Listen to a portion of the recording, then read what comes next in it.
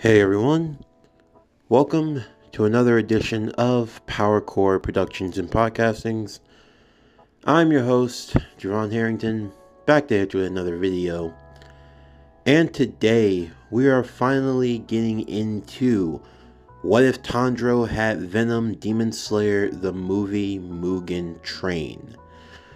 The last time I made a video on this series was back in January of 2022 on January 21st. This channel has come a long way since then, so to say that I am proud would be a bit of an understatement. But as always, I want to thank everyone who supports the channel because, like I always say, I cannot do it without you. You make the channel grow, you make the core grow. So now that I'm finally doing a video that I said I was going to do for multiple months at a time and I kept delaying it for a lot of reasons, we're now finally getting into the movie portion of this series. But that does leave me with a few questions. For one, am I going to cover season 2 of Demon Slayer? Well, honestly, I'm going to leave that up to you guys. As we're winding down with the series of videos that we have on the channel right now before we get into the major crossover events, we're kind of on the final home stretch, if you will. I already have everything lined up for what I'm going to be making and what I'm going to be doing going forward. But honestly, we do have a lot of series that are going to be coming to an end rather soon. So could I squeeze in season 2? I could, but that's only if you guys wanted. And that would cover the Entertainment District arc or the Red Light District arc as it's known. So, in the comment section below, let me know if you want season 2 of What If Tanjiro Had Venom. If you want season 2, then I will add season 2 to my slate of videos and we'll get started on that. But honestly, that's really up to you guys because after I finish this slate of videos and everything, I'm going to be taking a bit of a break before we come back with a new host of stories. So that's something to keep in mind. So if you want season 2, let me know down in the comment section below if you guys want that. And if you do, I'll get started on it right away. But without further ado, we're going to get into today's special movie event. So, as always, sit back, relax, and enjoy the show.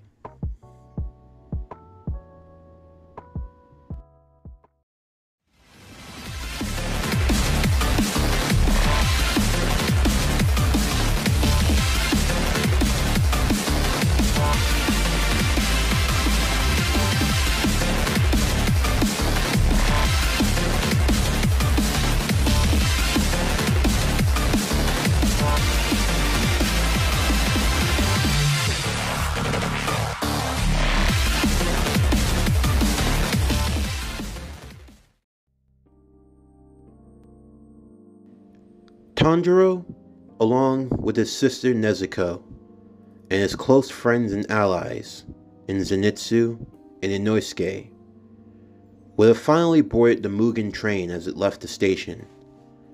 Their mission?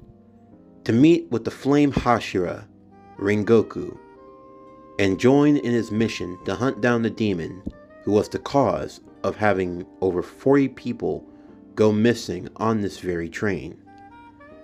As they boarded, Inosuke was enamored with this new fine form of construction. As being a primitive individual, he wasn't used to the more modern side of technology of their world. Something as simple as a train left him astounded. Before long, they would manage to find where Rengoku was sitting, enjoying his dinner. The ever ecstatic Hashira was happy to see them, to learn that they too had been assigned to help in the case. As they sat down all together, Venom would become rather hungry once again. He would ask if they had anything worth eating on this train, to which Rengoku would explain that they had a very good variety on the menu. Of course, Tanjiro reached for one, but a black tendril beat him to it, Venom basically skimming through to find what he wanted, and he found the section he was looking for. Duck. Duck of all kind. Sesame duck, rotisserie duck, fried duck, duck boiled, duck in all shape and fashion. In this universe, rather than having chocolate as a steady diet, opposed to eating human or demon, Venom found love for duck. He would eat duck in any way, shape, fashion, or form. He would even snatch up raw ducks, waddling on the side of the road, and eat them. Of course, Tanjiro didn't mind duck, but at the same time, if he ate it, it wasn't really so much for him, more so than it was for Venom. On Venom's free time, whenever Tanjiro was walking about, Venom would basically just list off all of his forms of duck. He believed that he would one day achieve his ultimate goal of finding every duck recipe in the world and trying them all. And he would scour to the ends of the earth to get them, whether Tanjiro wanted to or not. The Flame Hashira was quite enamored at the pair, as they seemed to be very close with one another. Of course, Tanjiro had his own questions, one in particular about a sword technique. Well, not really so much a sword technique, as it was actually a dance. A dance that his father did during the times of the New Year. It was the Dance of Fire. But when Tanjiro used this dance, it worked similar to that of the different forms of breathing techniques in the sword arts that they use as demon slayers. And with Rengoku being the flame Hashira, and fire being kind of his thing, Tanjiro wanted to learn more about the flame style, and more specifically, if his father's dance had anything to do with it. Of course, Rengoku wasn't entirely sure about it, as the dance wasn't of anything in his memory. But he believed that if he could provide him any answers, then he would be able to do so in the future. But in the meantime, he had questions of his own about Venom, or more specifically, just what it was. As the other Hashiras had come to learn, Venom wasn't a demon, but he wasn't human either. He was something entirely different. Venom would then take over, as he wanted to speak for himself. He explained what the symbiotes were and where they had come from. More so being beings from space that had to bond with the host in order to survive. Rengoku was enamored with this news, and he asked if there were other symbiotes out there that could potentially come to their world. However, as far as Venom was concerned, he was the only symbiote on this planet, if he was correct, the others tragically died. Hearing this, Tanjiro felt more akin to Venom. The idea of losing all of his close brethren, he understood that feeling and sentiment. All the same, Rengoku liked having the three young swordsmen before him, and he was even growing to have a feeling for Nezuko as well coming to view her as more than a demon, as she hadn't harmed any humans, and he had sympathy for the sibling duo. They sat together on the train and discussed many things. Before long, they had all managed to fall asleep. However, unknown to the group, this was the works of the dream demon himself, Enmu, the lower one of the twelve moons of Muzan Kibutsuji. This was his chance now to prove himself to his master. His plan was foolproof. He would use the train to lure in his victims, drowning them into a never ending sleep, and then using his own henchmen, they would be assigned to go into the dreamscape where they would find an individual's spiritual core. If you could destroy the core, you destroyed the human. And for Enmu, he believed that this would give him his victory. Tanjiro and his companions, now fast asleep, would all dream wonderful dreams. For Rengoku, he reminisced on his past with his younger brother and the disapproving of him becoming a Hashira by his father, who was once a swordsman. Zenitsu envisioned living a quiet life with Nezuko. Inosuke imagined himself being an adventuring leader. But for Tanjiro, he found himself back home in the snowy mountains. But even more so, he found himself with his family once again. He found himself surrounded by the ones whom he thought he had lost long ago. And for a moment he couldn't believe where he was. He couldn't believe that this was his reality. And it didn't take long for him to learn of the truth. You see, Venom was immune to the demon arts, mainly because he was not human and he could not fall prey. As a result, Venom would appear before Tanjiro. So, it seems you understand as well as I do, partner. This world, it's not real. None of it is. Most likely, you and your friends were put under the control by one of those demon birds. But if this is a dream, then we symbiotes have a hive mind. We have existed for millions of years, and we have existed across many different realities. We are far beyond all comprehension.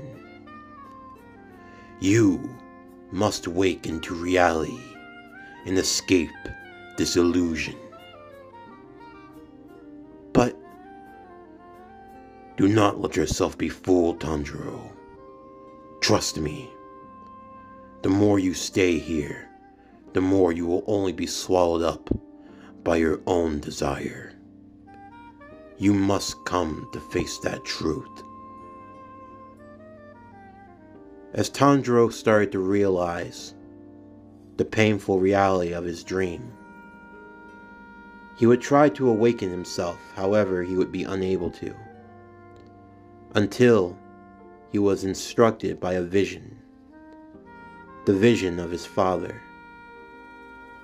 His father would thank Venom for watching over his son and his daughter, although Venom would reply that he only did it for his own self interest.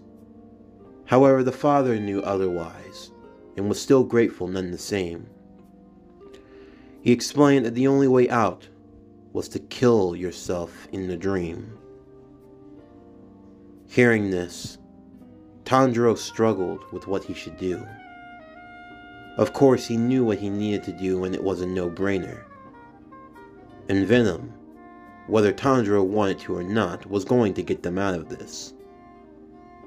However, before leaving, Tanjiro would stop to visit his family one more time.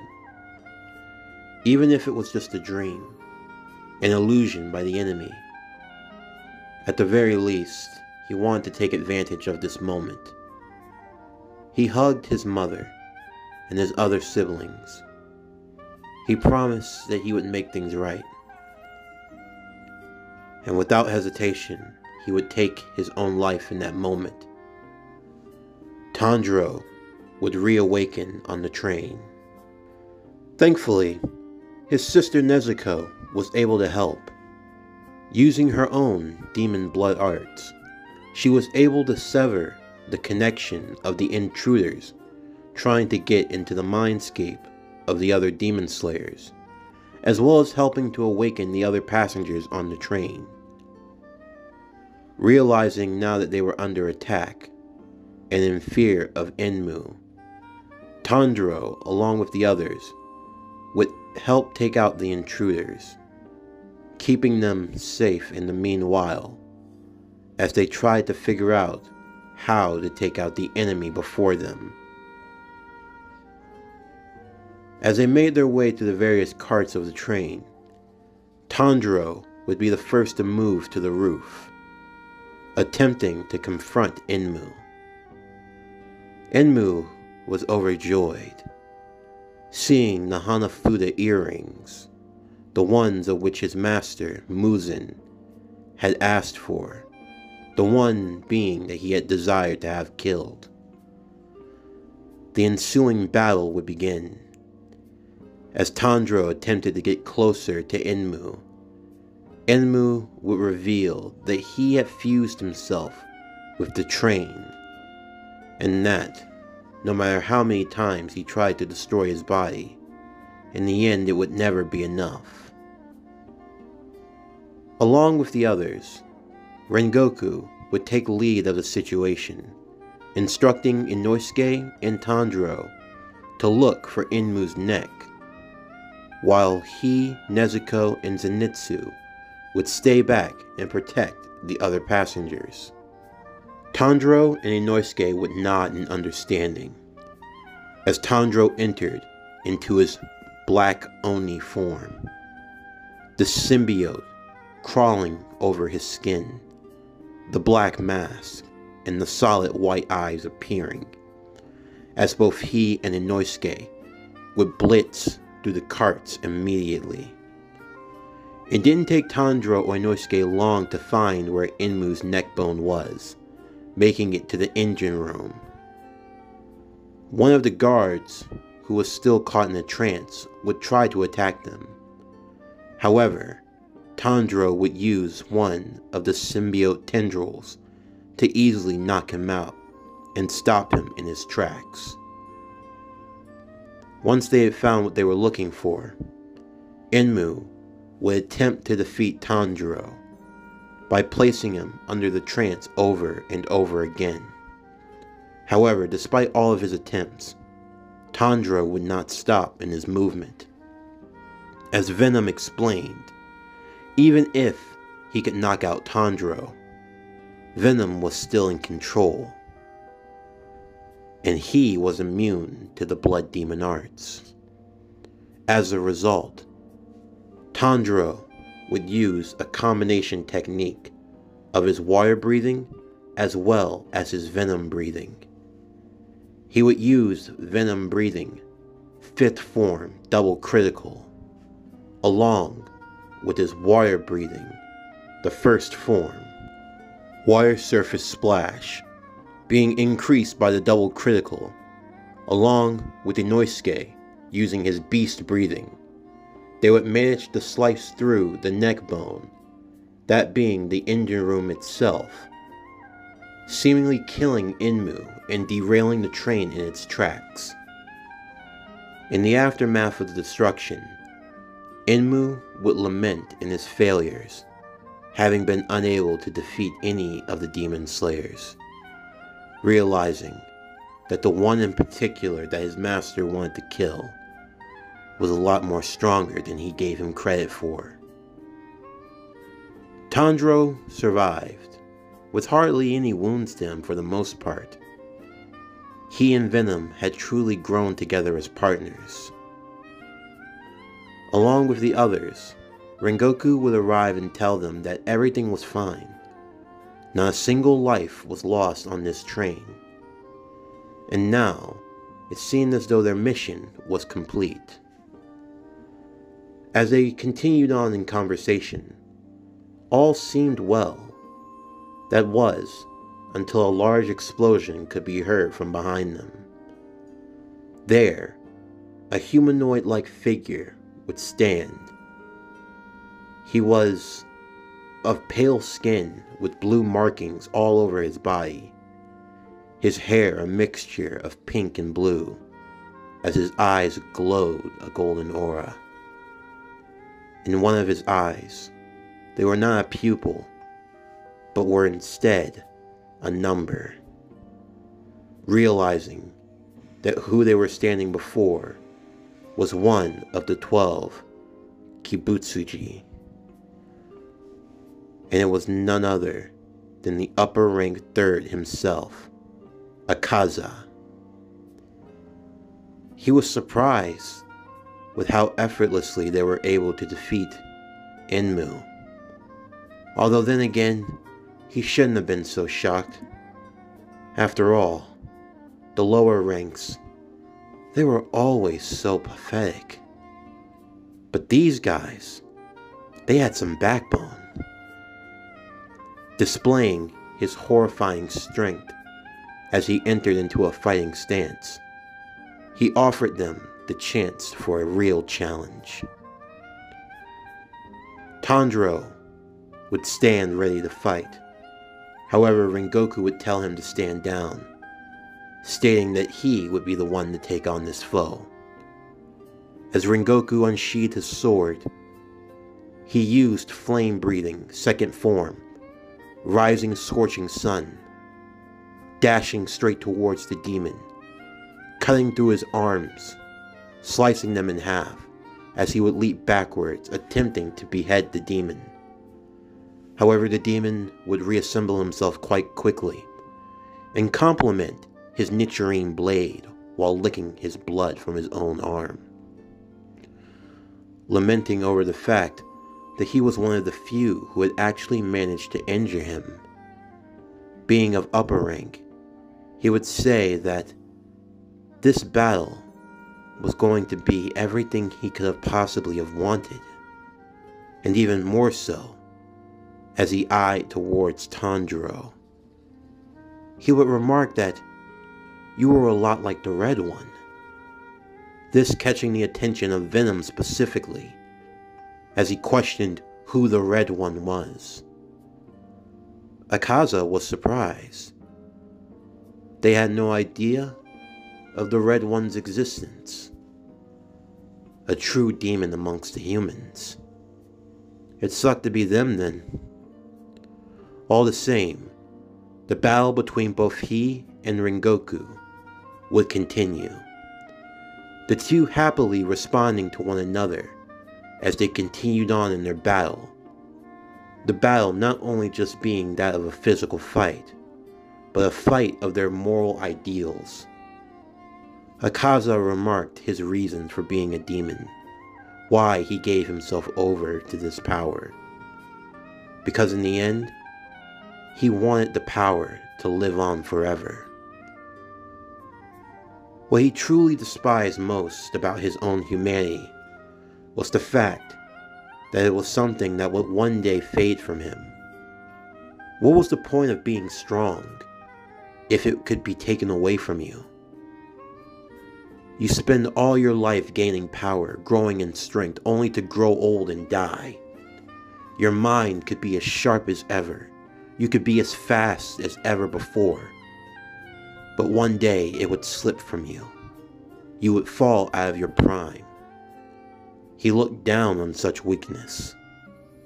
However, Rengoku believed in something different, of the beauty in humanity itself, the fact that things don't last forever. There was beauty in death, because it meant you had to cherish for what you had, never knowing when it would end for you. Before Kaza, he believed in the way of the demon. He had been training for hundreds of years to become stronger and stronger, and he could have only gained this strength by giving over his humanity. A small price to pay, in his opinion. Rengoku, however, would believe that growing old and dying was the way of humanity. It was something that made every aspect of life more precious. It made what humans fought for all the more valuable. What was there to be gained fighting for something that would never fade? It would lose all sense of purpose all sense of meaning and reasoning. Akaza would be disappointed in this answer. From what he had seen from Rengoku, he would have been someone he would have loved to fight for all eternity. But if this was the path that he was going to choose, then he was going to show the difference between the two of them. Akaza would get into a stance, lowering both of his knees, holding back one fist while extending his other hand forward, unleashing his technique, one that he had developed. This was the fruits of his labor.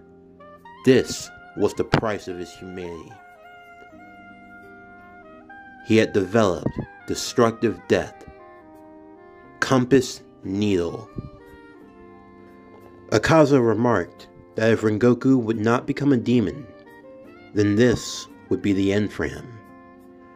Rengoku, however, was not one to go down easily, readying himself as he used flame-breathing first form, unknown fire.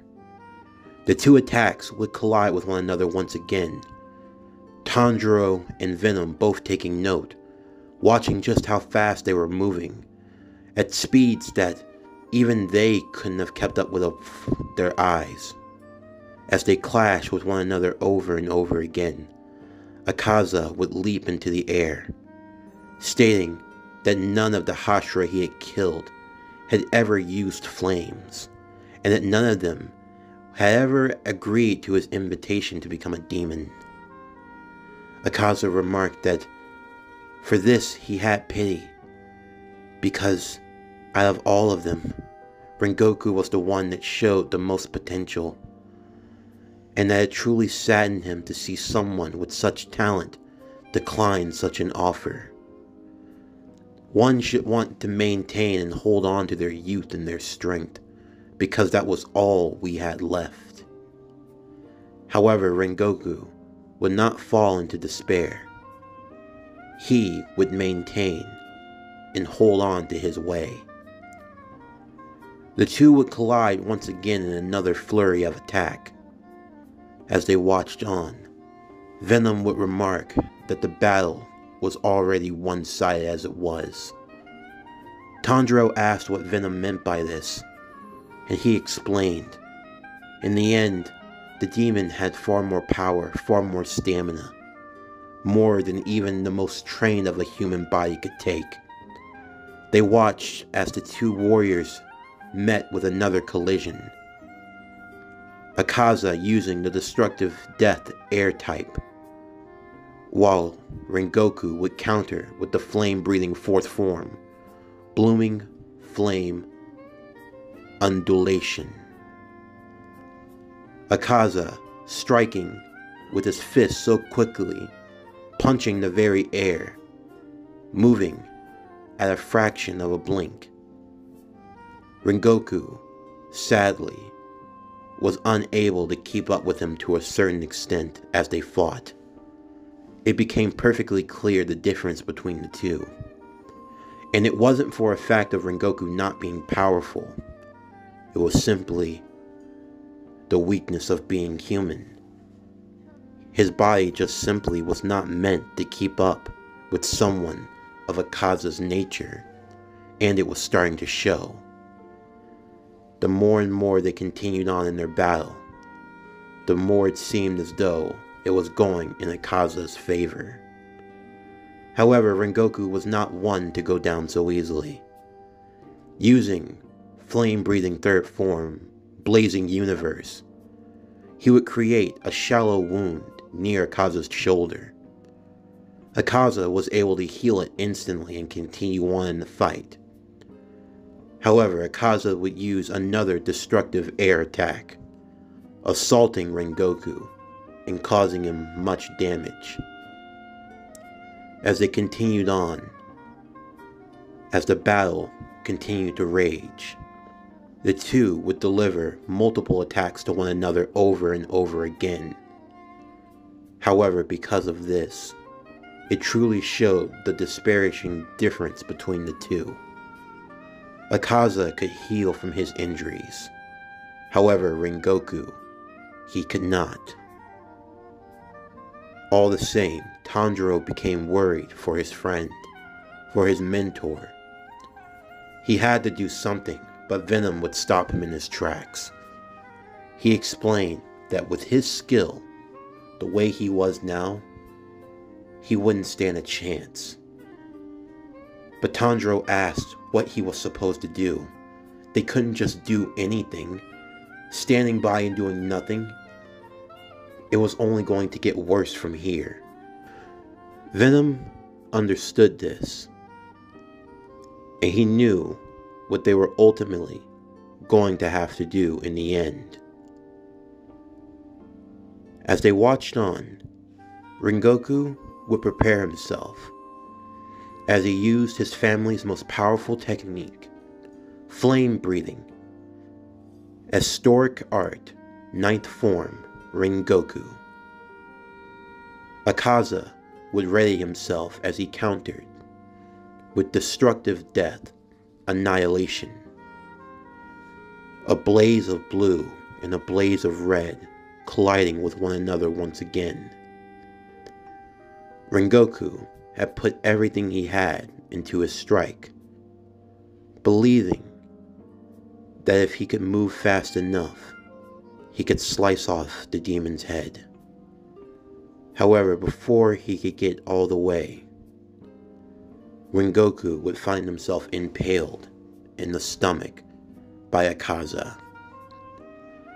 Akaza was impressed by Rengoku's strength, by how far he was able to go.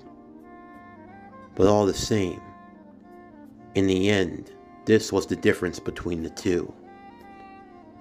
It was at that moment that Venom told Tanjiro to grab his sword. Tanjiro did, and he felt as if his body was empty now. He felt the symbiote leaving his very essence. As he realized what had happened, his sword was now entirely black, and Venom simply yelled at him to throw it. Without any hesitation, Tanjiro would throw the sword towards the two fighting. Rengoku thought that this was going to be the end for him. He didn't think that there could be a way out. He had used his best attacks, and in the end, it still wasn't enough. He was preparing to try and go for another hit, even if it wasn't going to do much. The two fighters, however, would be stopped as they heard something flying towards them. Rengoku seeing that it was a sword, he would hear something yelling at him to take hold of it, to reach for it. He wasn't sure of why, but he felt as though he could trust the voice telling him to do so. Rengoku reached for the blade and took hold of it. As he did, he would feel something graft over him instantly. The black ooze of the symbiote.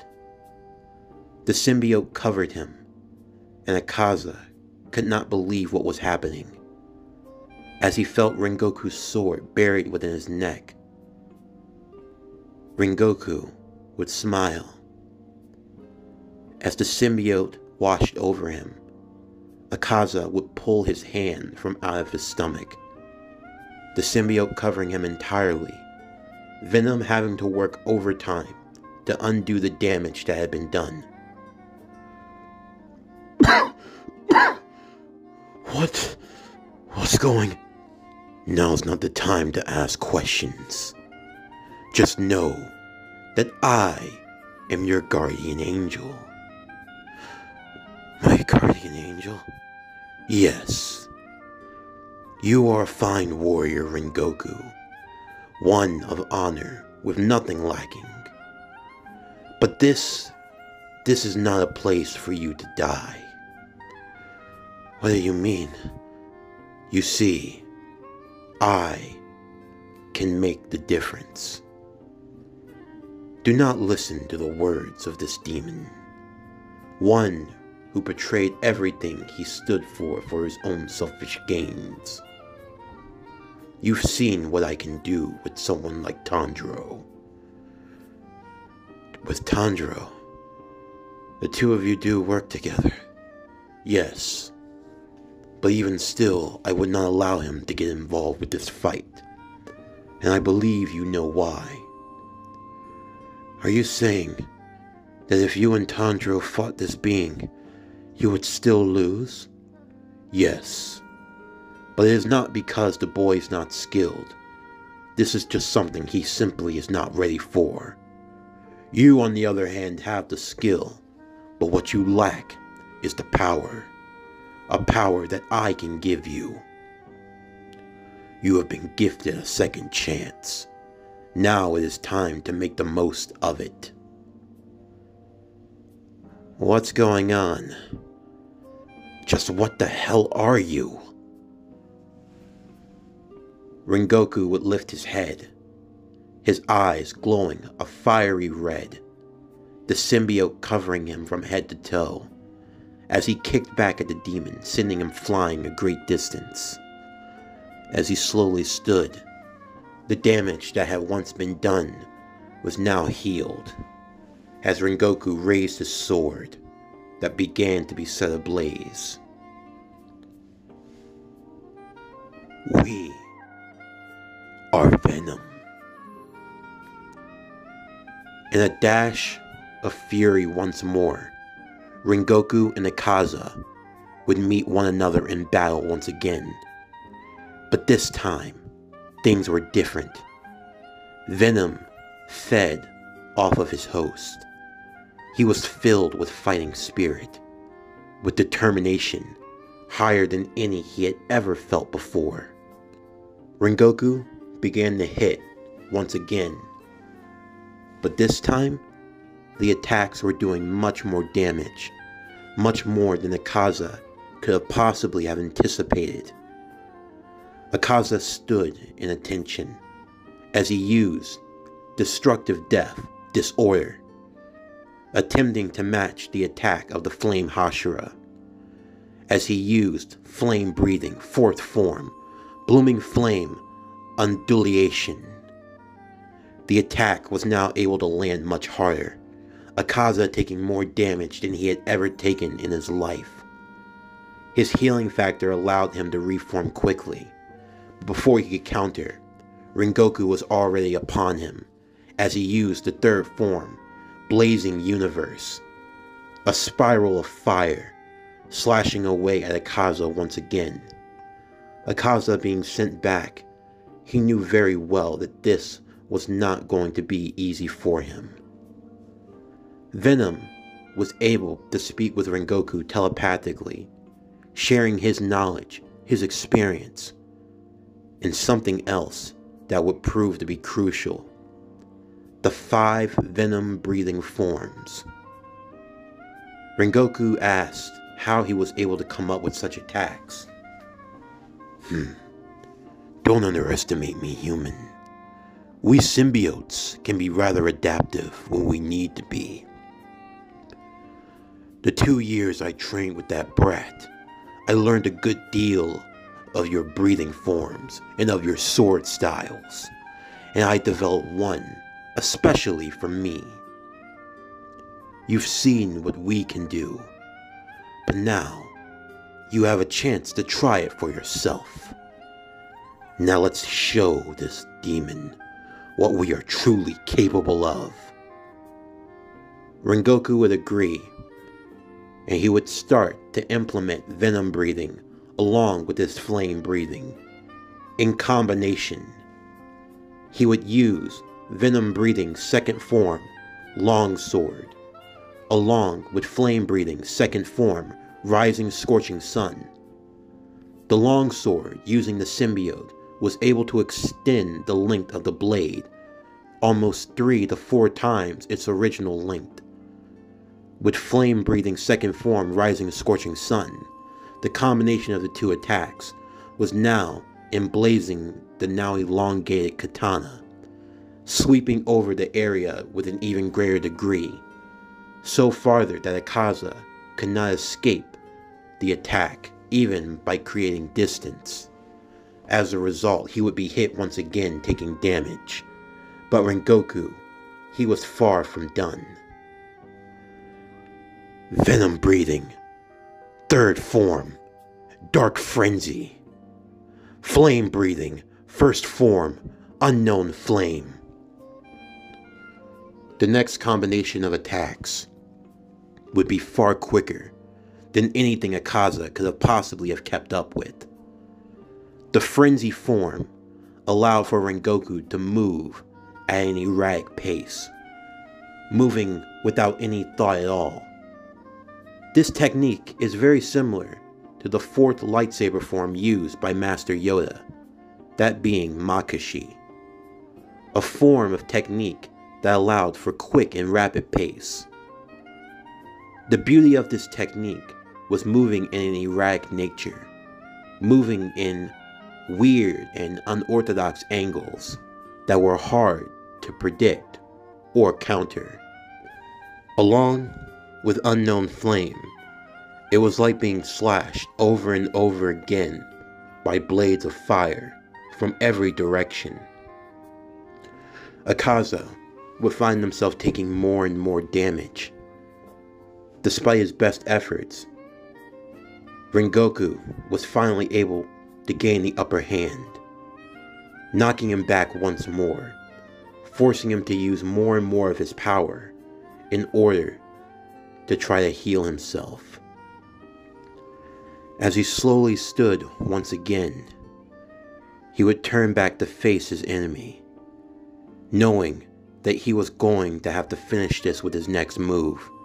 He readied himself to use the destructive death annihilation type. Rengoku asked if he could use that technique. Venom warned that even though he was being healed, his body was not at 100%. If they attempted to use the attack that he wanted to use, he better make sure he finishes it. Rengoku nodded in understanding as he took a very deep breath. Venom breathing. Fifth form. Double critical. Flame breathing. Historic art. Ninth form. Rengoku Blaze. The combination of the two strongest breathing attacks. With Venom breathing double critical, Rengoku, as he took a deep breath, would have the symbiote fill his lungs, holding in the air and putting him into a hyper state, a state where his senses, his strength, everything was amplified to the max. You could say that the double critical is very similar to the eight gates in how they work and how they function. For a brief moment, the human body is able to push itself to its absolute limit, enhanced by the strength of the symbiote.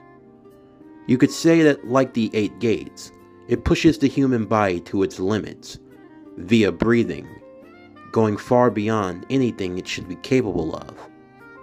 However, the reason why it is called the double critical is because, like the Eight Gates, it is a double edged sword. In exchange for this brief burst of power, it leaves the user almost useless once the time runs out. The time usually being 3 minutes. In combination with his most powerful breathing flame technique, it amplifies it to its highest degree. As Rengoku enhanced by the symbiote, becomes that of the flame dragon itself, unleashing upon Akaza once more. The two would meet for the final time. Another clash, a chance for a new start. As the two engaged with one another once more, Akaza attempted to use his defense, but it was pointless. In one fell swoop, in one blazing strike. The demon lost his own head and his arms as his body fell limp to the ground. Akaza couldn't believe what had happened. He was in such shock that he didn't think that it could be possible. As the flame Hashira stood over him, he could feel the effects of the double critical starting to sink in. As he took one knee to the ground, Tanjiro and the others would run over to him quickly, laying him on the ground and allowing him to rest. Venom would explain that for the most part his internal organs were fine, but he advised against fighting at that high a level for a while. If he tried to go into another intense battle right off the bat, he'd probably just undo all of the healing that he had been given. And for that, Rengoku was grateful. Rengoku also looked to Tanjiro, as Venom reassembled itself to him once again. He remarked that Tanjiro had great potential, and that he expected great things from him in the future. As the sun was starting to rise, Akaza felt that this was going to be the end. That was, until from out of the bushes themselves, a red tendril would emerge the red tendril wrapping around the body of Akaza and pulling him back in. The others watched on in abject horror as they saw and heard a distinct screaming. The screams of someone who was experiencing his own hell. Tanjiro and the others weren't sure of what to think. They weren't sure of what to expect. There was nothing that they could do. As the sun had not fully risen yet, a man would come walking from out of the tree line. A man dressed in a blood red suit, with a red top hat as he looked back at them with a smile. Tanjiro recognized him that criminal that they had met a while ago. The one being taken by the police. The one that bit him on the hand. Well, well, well. The boy with the Hanafuda earrings. You know, you got a lot of people trying to find you. Who the... Who are you? Oh, me? I'm nobody special. You might know me as Kasady. Cletus Kasady, at your service. But we prefer a different name.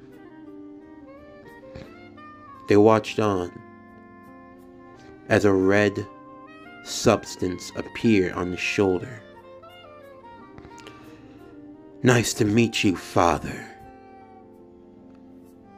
Venom would appear from Tanjiro's shoulder as well. Are you an offspring?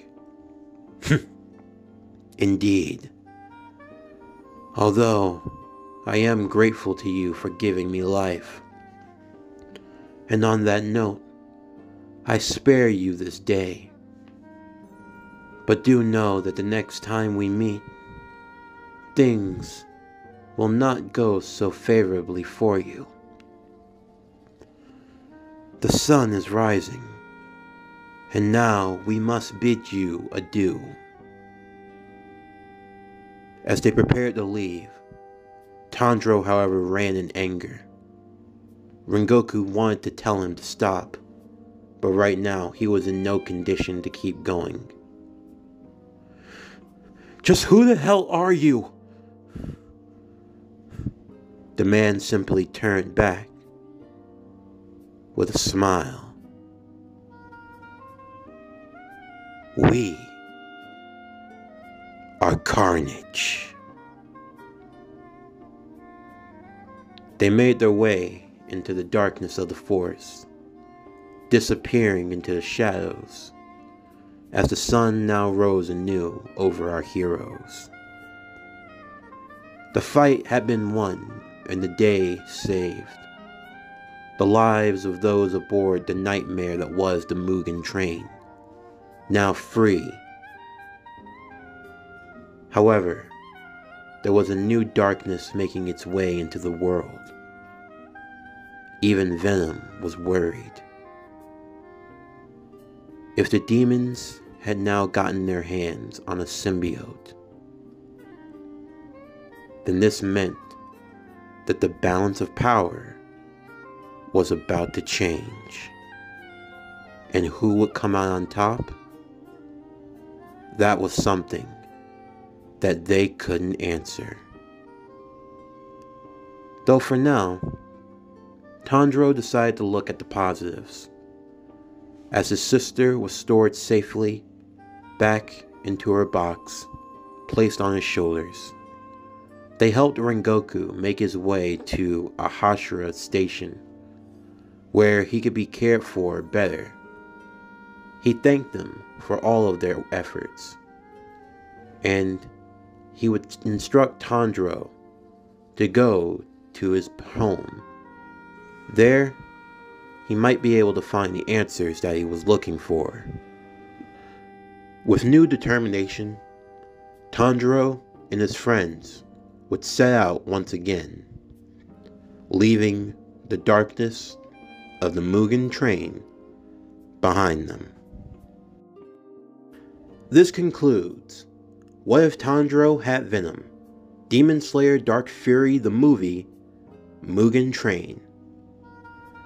As always, if you're a fan of today's video and everything else that we have to offer at Power Core Productions and Podcastings, then please don't forget to like, comment, subscribe, share, and hit that bell for post notifications so you can stay up to date on everything that is Power Core Productions and Podcastings that's to come out now and in the future. Stay tuned for Monday as we continue Jujutsu Kaisen Curse of Daishi, based on the Heroes of the Morphin Grid series, Part 4. But anyway, that's going to do it for the end of today's video. I'm Javon Harrington with PowerCore Productions and Podcastings. Signing off, and I'll see you next time.